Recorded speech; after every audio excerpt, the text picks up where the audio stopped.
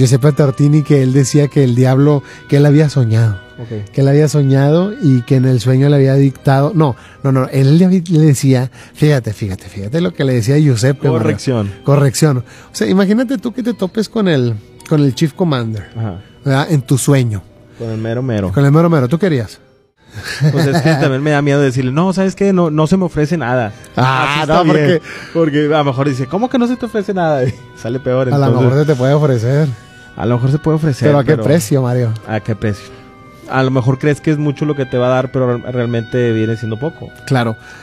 Pero Tiene mira, que empezar la negociación, Luis.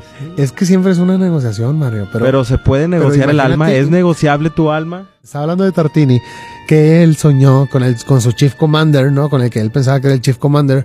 eh, y Tartini le dijo, toca una pieza para mí. Tartini le dio su violín. Ajá. Y pues tocó una pieza para Tartini. Tartini soñó